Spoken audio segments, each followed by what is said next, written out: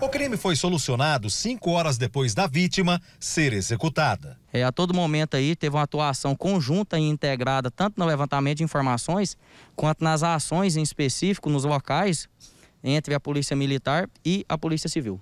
O suspeito levou os policiais até o local onde assassinou a vítima na região noroeste de Goiânia. Foi neste lugar de difícil acesso, ao lado do rio Meia Ponte, que Pedro Henrique Moisés, de 20 anos, com a ajuda de mais dois comparsas, cometeu o crime. Ele usou um revólver calibre 38 para executar com cinco tiros Cícero Prachedes Camargo, de 25 anos.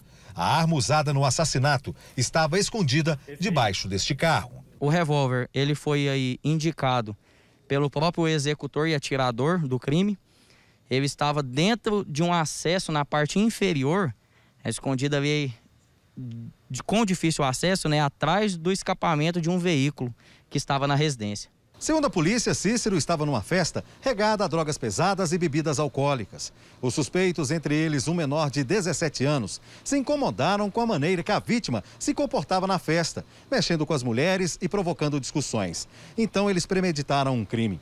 Pegaram Cícero, que estava praticamente dopado, colocaram ele no próprio carro e levaram até o local do crime, no setor São Domingos, onde executaram a vítima. No carro da vítima foram duas pessoas, um menor e um maior, sendo que o menor foi dirigindo e no banco de trás estava é, o maior que foi o executor dos tiros e, e uma terceira pessoa, um maior, deu apoio logístico no sentido de fornecer a arma e depois dar é, a fuga para esses dois executores e levá-los para Goianira, onde foi efetuada a prisão. A polícia conseguiu prender também Gilberto Ferreira de Jesus, que ajudou na fuga de Pedro Henrique, e apreendeu o menor que dirigiu o carro da vítima.